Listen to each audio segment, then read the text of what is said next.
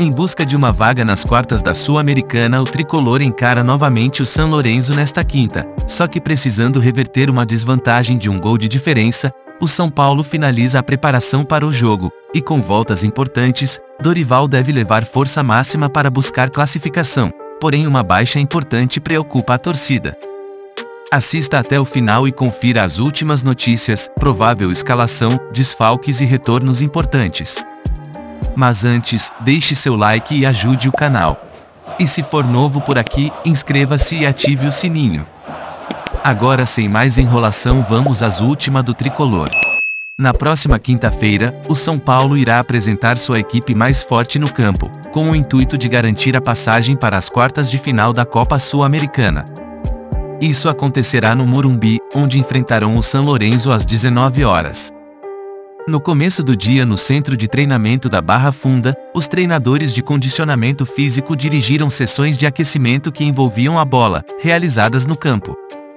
Logo após, a equipe técnica liderada por Dorival Júnior monitorou atividades focadas em estratégias posicionais, exercícios técnicos em espaços limitados e práticas específicas de bolas paradas.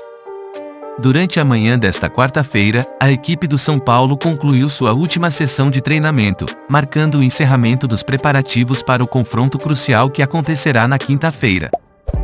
Dorival Júnior contará com os regressos de Arboleda e Gabriel Neves, e é provável que eles iniciem como titulares. Luciano e Caleri continuarão liderando o ataque. Portanto, uma possível escalação do São Paulo para enfrentar a equipe argentina é Rafael, Rafinha, Arboleda, Beraldo e Caio Paulista, Pablo Maia, Gabriel Neves, Nestor ou Alisson e Wellington Rato, Luciano e Caleri. No entanto, os reforços recentes, Lucas Moura e James Rodrigues, não poderão participar nesta fase da Sul-Americana devido à falta de inscrição. Isso significa que eles não estarão disponíveis para o confronto. Espera-se que o meia colombiano faça sua estreia no próximo domingo contra o Flamengo, no Maracanã. Além dos mencionados, jogadores como Erizon, Patrick, David, Galopo e Ferrarese não estarão disponíveis devido a lesões. Para assegurar a passagem para as quartas de final, o São Paulo precisa conquistar uma vitória com uma diferença de mais de um gol. Se vencer por apenas um gol, a decisão será decidida por meio de pênaltis. O que você torcedor acha disso?